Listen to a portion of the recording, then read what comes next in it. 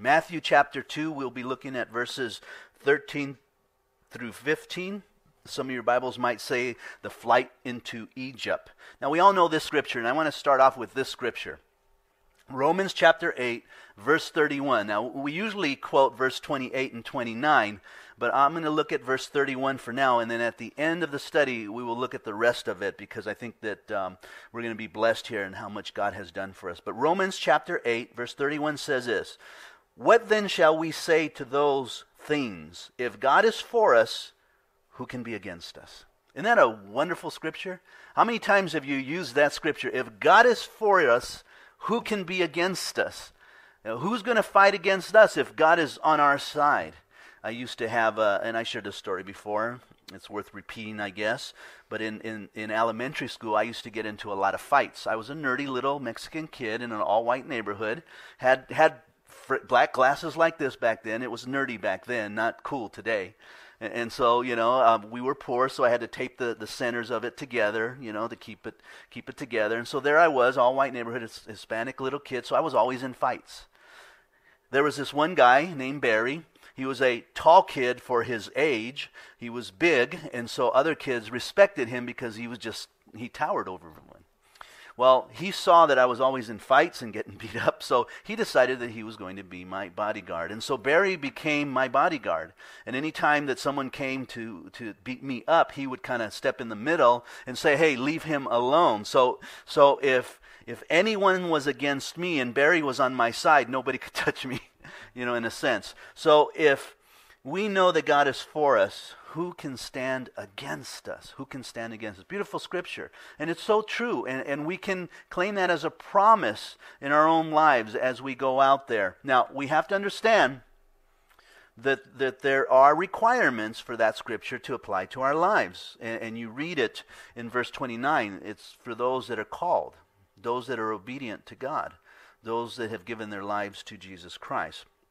So we'll touch more on that in a moment here. We continue on with Matthew's infancy narrative. He's talking about the, the, the birth of Christ, uh, the childhood of Christ. Uh, we really don't get too much details in other, the other Gospels, but only here in Matthew. And so we're taking our time as we go through this.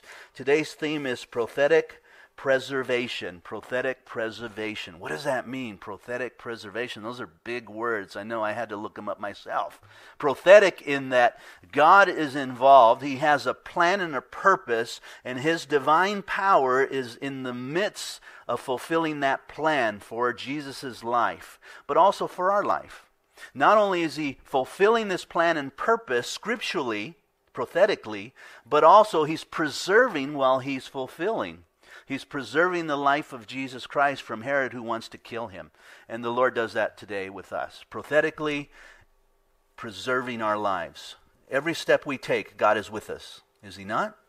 He resides in our hearts and so he's with us and he's protecting us and we can we can uh, take that to the bank actually and, and we know it to be true so let's read 13 through 15 and get the context here now when they had departed behold an angel of the lord appeared to joseph in a dream saying, Arise, take the young child and his mother, flee to Egypt, and stay there until I bring you word. For Herod will seek the young child to destroy him.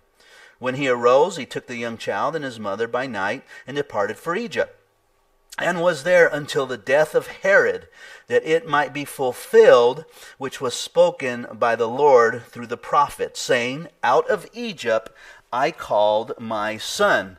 Thus, you get the idea prophetic, according to scriptures, preservation of his son Jesus Christ. And so we have a picture here. We know last time that we met, we, we, we looked at the religious um, magi's or wise men who came to bring gifts unto the Lord. And now the Lord is, in a sense, preparing Joseph to flee to Egypt with Jesus and his mother. And so in verse 13, they had departed. He's speaking of the religious leaders here uh, these men, you go back to verse 12, and being divinely warned in a dream that they should not return to Herod, they departed for their own country. And, and so these men were also warned in a dream to leave and not go back to Herod. If you remember, Herod had asked them, you know, when you find the child, come back and tell me so that I can come and worship him. Well, the Lord warned these wise men, and they were wise enough to hear the warning and to obey by just leaving and not going back to Herod, which I think uh, bought some time for Joseph and for Mary, enough time that they could be warned and then also leave uh, to Egypt, as it says here. So these uh, wise men departed. Now, by the, by the time we get to the book of Acts, we'll see, and we notice here too that these are dreams that these men are having, or angels that are appearing, and we see that throughout throughout scriptures. But by the time we get to the book of Acts, we find that the Holy Spirit is directing man and not so much angels. Yet we see angels actively involved in the early church because the question arises is do we still have dreams and do angels still uh, minister to us or warn us or even direct us? And, and the answer to that would be yes. I probably would say no if we had no evidence in the book of Acts because um, Jesus hasn't resurrected yet, he hasn't ascended yet, and so we're still, in a sense, under the Old Testament while Jesus was walking among us, if that makes sense to you. And so angels were very active in the Old Testament. They were the ones that appeared to men. They were the ones that gave instructions um, and even prophetic words. And, and so the angels were working along with God in His plan all the way up and through to Jesus' life, even to his ascension. Then when you get to book of Acts, we find that, that angels also work during that time. But something happens. There's a change at the end of the book of Acts where the Holy Spirit begins to separate men, the Holy Spirit begins to direct them, and the scriptures are clear that the Holy Spirit then takes over in a sense. Does that mean that angels don't direct us? No, I think that angels can still direct us. I just think we have to be very careful that we measure or take the words of those that we think are speaking to us spiritually, whether they're angels or whether they're dreams, and we um, measure them with the scriptures. We compare them. Are they contradicting the scriptures? And if they're contradicting the scriptures, then no, we need to rebuke that word. I know of a pastor, a friend of mine, who who shared about uh, the Lord ministering to him and an angel actually appearing to him in the morning or in the evening and really encouraging him to continue on in the ministry. And so angels do appear, and that would be biblical for him as a pastor being discouraged, and uh, the Lord really encouraged him through through uh, a vision of an angel. So we just need to be careful. I just wanted to throw that out there. Behold, an angel of the Lord appeared, and Joseph in a dream. and we know that angels appeared to Mary, to Joseph, to these wise men, and even the shepherds in the field. And Matthew talks a lot about angels appearing uh, several times in chapter 1, verse 20, chapter 2, verse 13, and 19. Um, Luke uh, 119 talks about the angel Gabriel who stand in the presence of God that he had uh, sent to speak to you and to tell you of the good news to the shepherds. Uh, Luke 126 also talks about angel Gabriel to Nazareth and then to the town of Galilee, uh, telling him to arise and to take the young child and flee from Egypt, uh, the place at which Joseph and Mary had resided in uh, until the death of Herod himself. they fled to Egypt. Verse uh, the next statement says stay there until i bring you a word for herod will seek the young child to destroy him. Um, the angel will continue this conversation later and we'll see that as we go on. So stay there until i give you word. That's the direction. And they were to go flee to egypt and stay there until the angel then came and gave them word to leave and so they needed to wait upon this angel to come and then direct them, and he will later on, we'll see, as Matthew continues on in this um, infancy narrative through the whole chapter 2. Verse 14 When he arose, he took the young child and his mother by night, and now speaking of, uh, of Joseph here, who heard the angel, and he acted immediately in this case. He immediately arose and he departed to Egypt. So the stay in Egypt was probably short. It wasn't very long, maybe a year or two. Uh, as soon as Herod had died, uh, we see that in Acts chapter 2.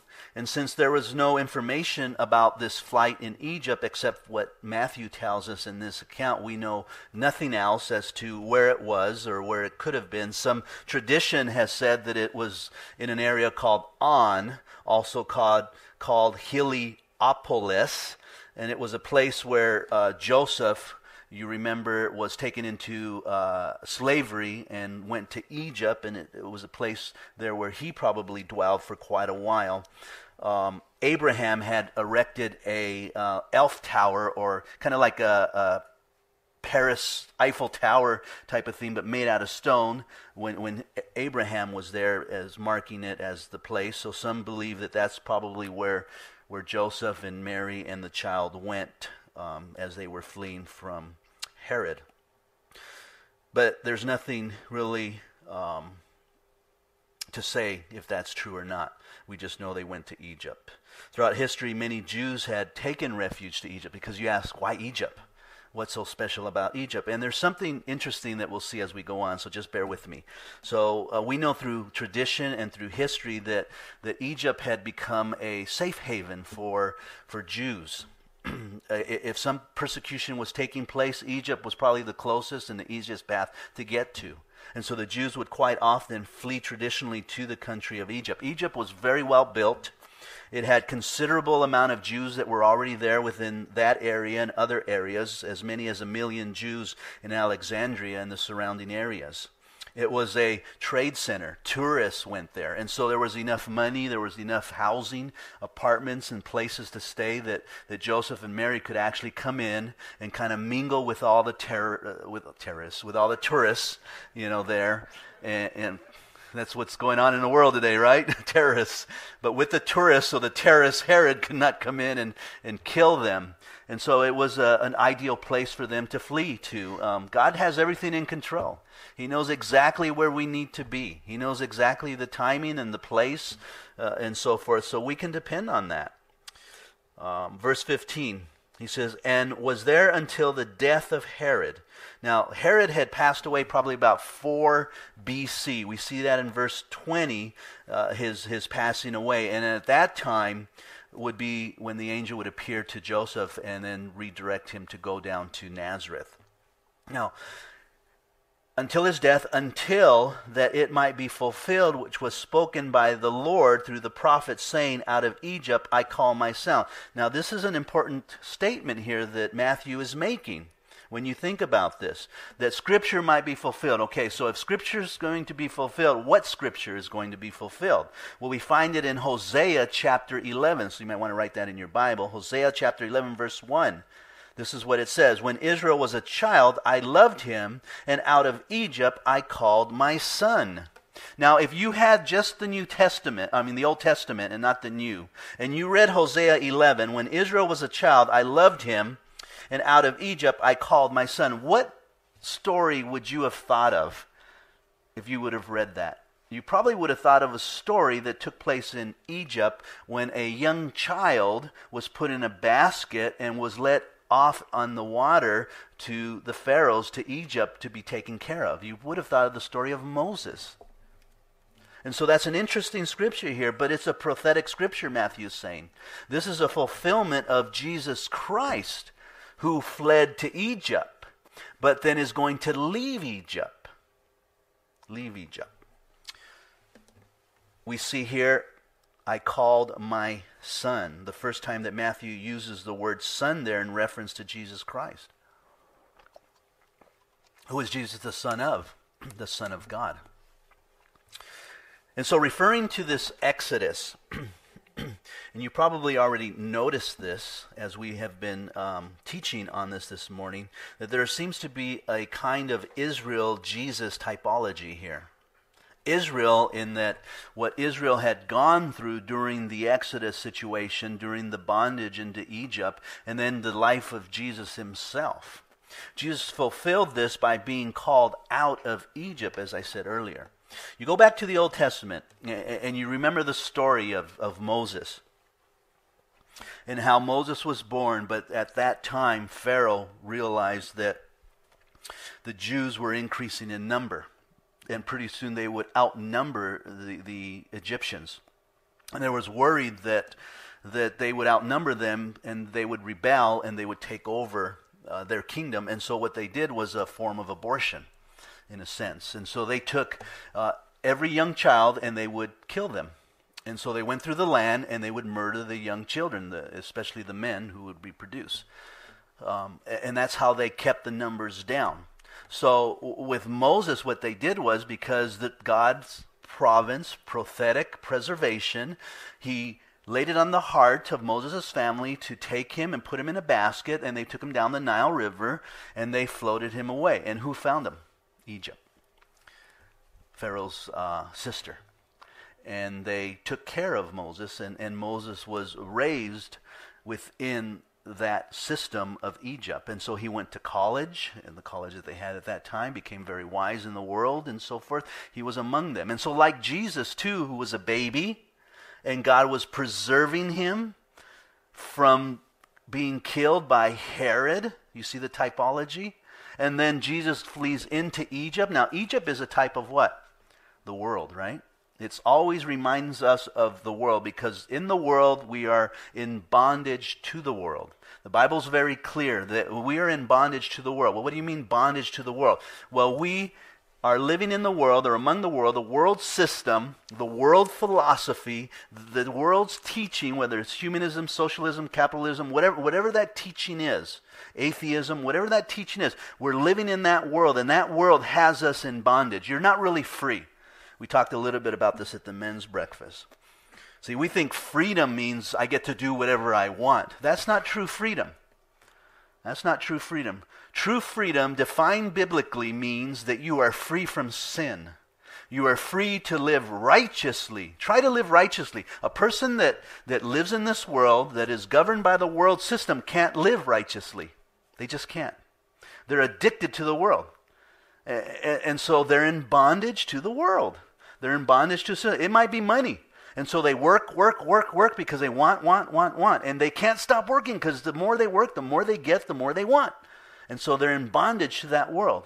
It could be movies, it could be pornography. And they're involved in they're, uh, try quitting. And you'll see whether you're in bondage or not. You're in bondage to sin to sin itself. Sin is missing God's mark, and you will continue to miss that mark because you're in bondage. Now, you might say, No, I'm not. I'm not in bondage to any. I get to do whatever I want. Yeah, you get to sin, and that's why you're in bondage to it. Try to stop sinning. Try to stop watching pornography. Try to stop smoking. Try to stop drinking. Try to stop taking drugs. What happens when a person stops taking drugs? They go to withdrawals, and eventually they say, I just can't do this, and they go right back to it. It's called an addiction. That's what we call it in the world. We call it in bondage to sin. And so the Bible's clear that Egypt is a type of the world. The Israelites were in bondage. If an Israelite tried to escape, what would Egypt do? Go and grab them and bring them back. Either kill them or bring them back and put them under harder labor. Remember when Moses came into Egypt? And he began to say, Let my people go, speaking for God, saying, my, my God is going to remove his people from the world and bring them to a new land. And the more that, that Moses said, let them go, the more Pharaoh said, no, they're mine. They're my slaves. I'm not going to let them go. And, and, you see the battle of the flesh and of the spirit battling there. A, a person that's in bondage to sin is battling. I, I want to stop doing this, but I can't. There, there's something that's keeping me here. And you realize, boy, I really am in bondage to this. People who watch soap operas uh, my mom, every once in a while, likes what they call um, novelas. I think it's in Spanish. You know, try to not watch it. And you're going through withdrawal. Uh, what happened next with so and so? And what did they do? Oh, I can't take it. And you go, go turn it on because you're in bondage to it. See, true freedom, true freedom gives you the strength to say, I don't need to watch it. That's why I can say, I can drink. I can drink as a pastor. I can go out and I can have a beer and be perfectly fine with it. Now you're going, wait a minute, well, that's wrong. No, I'm not in bondage to it. But see, I choose not to. See, I have a choice to not do it. I'm free from it. I don't have to like I used to. And so I don't because I've chosen not to. Because I'm free in Jesus Christ. He has set me free to live righteously. And so we see this typology uh, of Moses. Now, now Moses goes in there and, and, he says, Let my people go. And we know all those plagues that take place and the battle that's going on. And, and that really reveals to us the battle that goes on in our own lives with the spirit and the flesh, that it is a battle.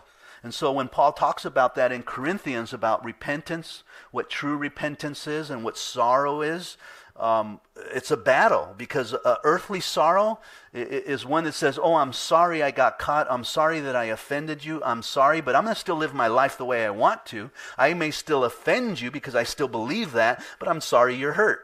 That's worldly sorrow.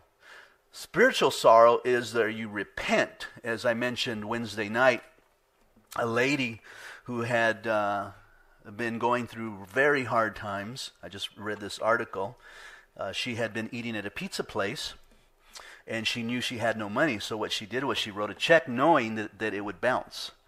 And so she wrote the check, gave it to the guy, and it was $20, she figured. And uh, she walked out. Well, it bounced. And so she didn't have to pay for the pizza. Well, 13 years later, and she has eaten at this place periodically, and she's always felt guilty going in there, sitting down, having pizza, and paying for it. But she's always felt guilty because she had not paid for it then, knowingly gave a check that knew that it bounced. She knew that it bounced. And so she felt like, I need to go tell the guy I'm sorry. I, I need to tell him that, that, that I did a wrong thing, but she would always get fearful and leave. Well, 13 years later, she finally got enough nerve that she went to the person and, and she said, I want to apologize because I wrote a bad check 13 years ago, and I want to write a check to you right now for $20 plus 30% interest, and so it came out to 50 something dollars, and here's the check. That's true repentance. Because not only was she sorry, not only did she ask for forgiveness, but she also made it right. That is true repentance. That's what God wants from us true repentance. Uh, we can see that with the Israelites. Um, they kept saying, Let us go, and we wanted to go, but there was a point in their life when they left, and you remember they're at the Red Sea? And they were challenged now. Here's the Red Sea. And, and by the way, they could have taken another path, the Bible says. I don't know if you remember reading that. There was another path, but God actually led them this way because he had another plan. The other way was a quicker way, an easier way. There might have been a couple of battles with some nations, but they would have been able to get right to that point a little bit quicker. But God says, No, I don't want you to take the easy way out. I want you to have faith and trust in me. And so they there were with their backs against the Red Sea and Pharaoh coming at them. And that was the challenge of repentance. We see their hearts. Uh oh, if we would have stayed then we wouldn't have come out here and we wouldn't have been buried in the ground, you know, all this way to what? Die and get buried out here? And they started having second thoughts instead of trusting in God and knowing that God was going to get them through, especially after 10 plagues, after witnessing what God had done to Pharaoh and even killing the little child. Now, killing the little child because you remember the, the last words of Pharaoh was that, look, we will kill your children. And so Moses told Pharaoh, because you said that, God will now take your firstborn.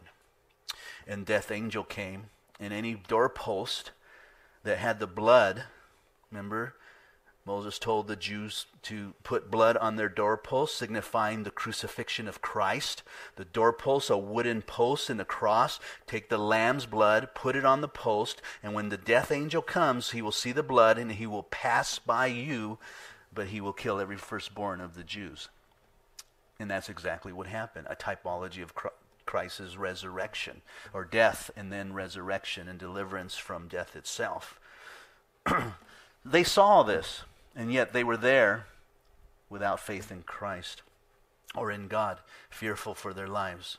And so God once again delivered them by dividing the Red Sea and allowing the people to go through the sea and watch what God did with Pharaoh. Now, as they crossed the Red Sea, they entered what? Into the promised land, into the land of Canaan. Now, some people have mistakenly thought, well, see, now that's, that's, the, that's heaven.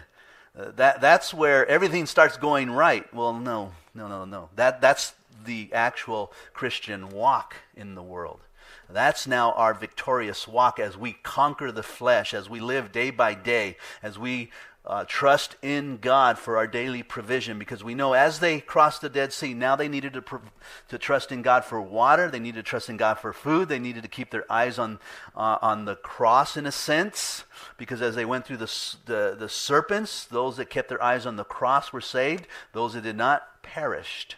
And so it's their daily living. Now we see this in Matthew chapter 4, and we'll get to it sooner or later. But we see Jesus was called to relive this wilderness temptation in Israel. So there's Israel wandering in the wilderness, and they wandered because of their lack of faith in going into the promised land, and so they wandered being tempted for 40 years. Jesus relived that. And we'll see it in Matthew chapter 4. The first temptation, when Christ went up to the mountain, and who tempted him? Satan himself. And you remember that temptation. Matthew 4 says Jesus was led up by the Spirit into the wilderness to be tempted by the devil. And that's exactly what happened with Israel. The Spirit led them into the wilderness and they were being tempted. God was testing their faith. God does that with us today. He tests our faith. See, God is good, isn't He? God is good to us if God is for us, who can stand against us? He definitely is good for us, and He hears our prayers because He loves us so much. But He also wants us to live our life for Him. He really does. As we're walking through the wilderness, Satan comes and he tempts us with things, whatever that temptation may be in your life. Whether it's money, whether it's status, whether you want to be the boss and have all the authority, whatever that is, he tempts us with life. And we are challenged to either give in to him or to give in to the Lord. So Jesus is also tempted like the Israelites. And it says that he fasted 40 days and 40 nights. Afterwards, he was hungry. Now remember the Israelites, they were what? In the wilderness for how long? 40 years. and there were times where they were hungry. And God said, You have to trust in me. He, he brought what? Manna from heaven. But he told them, Only take so much. and on the seventh day, you let it rest. You leave it alone. You don't take any of it. There were always requirements for God's provisions. And so we see Jesus being tempted, and he's hungry without eating 40 days, 40 nights. And afterwards, when the tempter came to him, he said, If you are the Son of God, command these stones into bread. But he answered and said, It is written, Man shall not live by bread alone, but by every word that proceeds out of the mouth of God. And so Jesus is our example in our Canaan walk in this world. We are to live by the word of God. That's what Jesus said. We will be tempted by the enemy, just like Israel was tempted by the enemy, but we need to keep our eyes on what God has said in his word. Matthew links Jesus' movements to Egypt and then later on he moves to Nazareth, and then later on to Capernaum. So when Herod passes, he dies, the angel will come and tell Joseph, It's time for you to leave Egypt. Just like Moses went to Pharaoh and said, It's time for the Israelites to leave Egypt. And they left and Jesus left. And he goes to Nazareth to fulfill another prophecy, and then he goes to Capernaum to fill another prophecy. And each of these, these movements, Matthew identifies the fulfillment of Scripture, exactly as God had spoken it. So God's plan unfolds before Joseph's eyes and before our eyes. How is God leading you?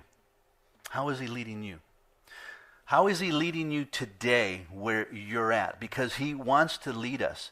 He has a prophetic plan for our lives. He really does. I remember when my pastor decided to have a liver transplant. And so the board and elders and those involved in the church got together and they said, What are we going to do while you're recovering from a liver transplant, which would take eight months? Eight months to recover. And at that time, I was an assistant pastor. And so they decided that I would run the church with the help of some of the pastor board members that were within the community nearby, also with the help of other Calvary chapels that would support financially while he was gone because they knew that the church would probably uh, get smaller because people have a tendency of following people And sure enough, as soon as he was in the hospital, the church got smaller because they were here not for the word, not for God, but they were here for him. And so it got smaller, and the ones that were, were faithful stayed. And so that financial help helped. Well, at that time, I worked for Southern California Edison. And this is how God puts things together in our lives and in your lives. And so Edison decided that they were going to work for tens. You remember when, when um, the world, corporate America, uh, were concerned about pollution and, bringing that pollution down, and so they, they figured if we cut the, the driving time by uh, make giving people the option to work four days a week and have Fridays off, then hopefully the pollution will go down. And so they offered that to people. So now I was working Monday through Thursday. I was off Friday, Saturday, and Sunday, so I could work three days at the church and, and maintain it. Well, it, it didn't stop there in first time in history and the last time in history, Southern California Edison decided because it was during the deregulation, some of you that might remember that, when Edison went through the deregulation right after the phone company went through deregulation, where, where outside manufacturers wanted to get a piece of the pie because they felt Edison had it all, and so it started to cause deregulation. So Edison wanted to save money. So they offered what they call a VP, time without pay you could take an extra day off and you wouldn't get paid, but we wouldn't uh, mark you as um, a part-time employee. We wouldn't re- take away your benefits. You would just would not get paid. And so even though I was only working 30 hours a week, Monday, Tuesday, Wednesday, I took the, the that that um, day off. Um, so I was now able to work Thursday, Friday, Saturday, four days now, almost a whole week at church. And so I did that. Now, now here's the thing that just blows my mind every time I think about it. Because you might think, well, that's coincidence. You know, God wouldn't do that just for you. I, well, I don't think He did it just for me. There was a lot of there are 18,000 people that worked for for Edison, so they all got that opportunity, and God was working in their lives, I'm sure. But the day that He came back, on that eighth month, and he began to come back and, and begin to teach again, Edison decided that we're no longer going to give you the day off and that 410s were going to stop. So when, when something like that happens, you just go, wow, Lord, were you in control or what? That's prophetic preservation. That's prophetic preservation. God does that for all of us, for every single one of us. Not because I'm special, and please don't take it that way. It's not about me. It's about God's work and His plan and what He wants to do. And that's why I'm so adamant about us serving in the kingdom of God and applying ourselves with the gifts that God has given to us in this ministry. This ministry needs to grow. It should be growing. It should be in a different place than it was last year. And we are in a different place, strangely enough. I don't understand it, but we are. But we should be continuing to grow because a body grows naturally. It just grows naturally. How is God leading you? Now let's go back to Romans. I want to share with you what God has done for you. Romans chapter 8.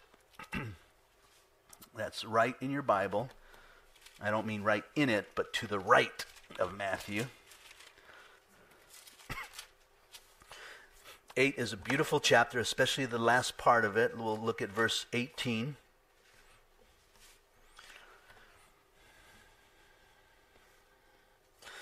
This is what Paul writes to the Romans, and it's really to us too. He says, I consider that the sufferings of this present time are not worthy to be compared with the glory which shall be revealed to us. Jesus was about to suffer at the hands of Herod, but God had a glorious plan for his life. The Israelites were suffering, but God had a glorious plan for their life. Paul says, we may be suffering at this time, but God has a glorious plan for our lives. For the earnest expectation of the creation eagerly waits for the revealing of the Son of God. That is the second coming of God. Don't we wait for that day? Aren't we anticipating that day? Some of us are praying, Lord, please come back. I got nothing else to do. I'm just waiting for you to come back. For the creation was subject to futile not willingly, but because of him who subjected it in hope, because the creation itself also will be delivered from the bondage of corruption into the glorious liberty of the children of God. Even the world itself is in bondage to corruption, it is decaying, and it can't do anything about it. For we know, verse 22, for we know that the whole creation groans and labors with birth pangs together until now. And not only that, or not only they, but we also who have the first fruit of the Spirit, even we ourselves groan within ourselves, eagerly awaiting for the adoption, the redemption of our body. Again, the hope of heaven. Our bodies are aching to one day be there and finally be whole. Uh, how many of us, when we sin, how many of us, as we're living, get tired of being in bondage to some of the sin that we've involved in. Because we're still in bondage to a lot of it. And yet we should be getting tired of it. And so we then cry out, God, take us home so that we can be complete and we will stop sinning. For we were saved in this hope. But hope that is seen is not hope. For why does one still hope for what he sees?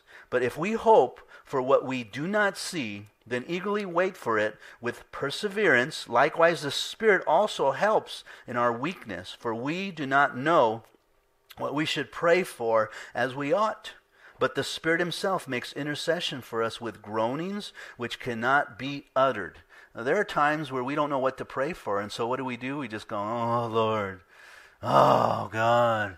I need you, Lord. And we just groan. And for some reason, the Spirit knows exactly what we're groaning for. He knows exactly. And God hears us. Now, he who searches the hearts knows what the mind of the Spirit is, is because he makes intercession for the saints. That's God praying for us according to the will of God. And we know that all things work together for good for those who, what? Love God. That's a scripture you should highlight, and, and most of you probably already have memorized. All things work together for good. For who, though? To those who love God, to those who are called according to his purpose. Prophetic preservation. If you are a believer, if you've asked Christ Jesus into your heart, you are under that prophetic preservation. You should be loving God and you should be call, being called to his work, his purpose, his plan. For whom he foreknew, he also predestined to be conformed to who? To the image of his son, that we that he might be the firstborn among the brethren. Moreover, whom he predestined, these he also called. Whom he called, these he also justified. And whom he justified, these he also glorified. The process of salvation. You are saved, you're being saved, and you're going to be saved. You're going to be glorified. What then shall we say to these things? Uh, isn't it glorious what God has done for us? And then Paul gets a little excited here. So, what shall we say about these things? This is too wonderful. If God is for us, who can stand against us then? Wow, amen. Right? Look at what it says in verse 32. He who did not spare his own son, God didn't spare his son, but he delivered him up for us all. Yes, even the crucifixion of his son was his prophetic preservation of us.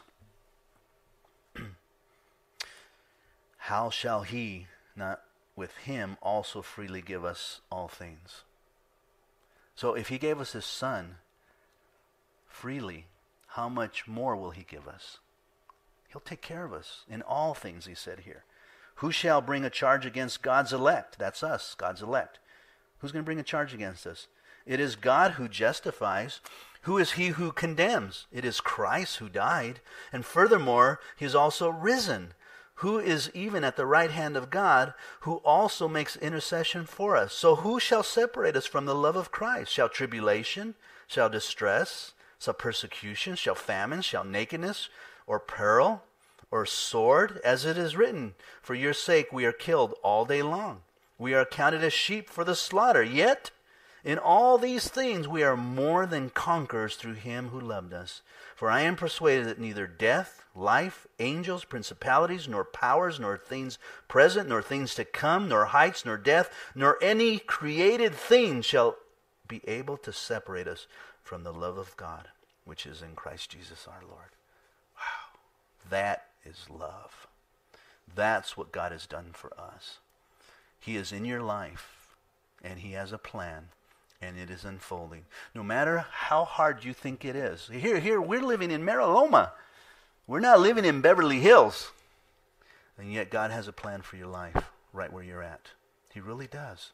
And you get the opportunity to minister to Him, to glorify Him in the situation that you're in. And so, if God has a plan for your life, if God is protecting you, He is fulfilling the scriptures, then we can trust Him, right? With our very lives. We shouldn't fear. We shouldn't worry. We should just know, Lord, let your plan unfold before our eyes. Amen? So trust in God because He loves you so much and He has a plan for you.